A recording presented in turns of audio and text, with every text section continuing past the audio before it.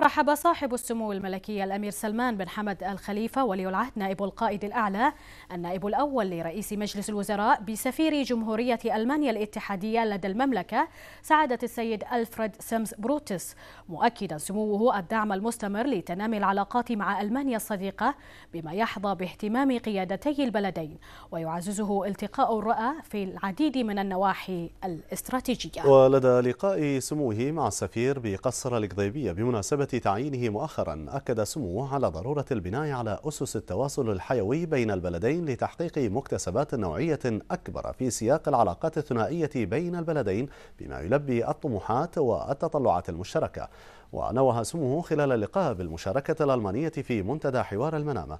كما تم استعراض عدد من المواضيع التي سلط المنتدى الضوء عليها توازيا مع المستجدات الإقليمية والدولية الراهنة.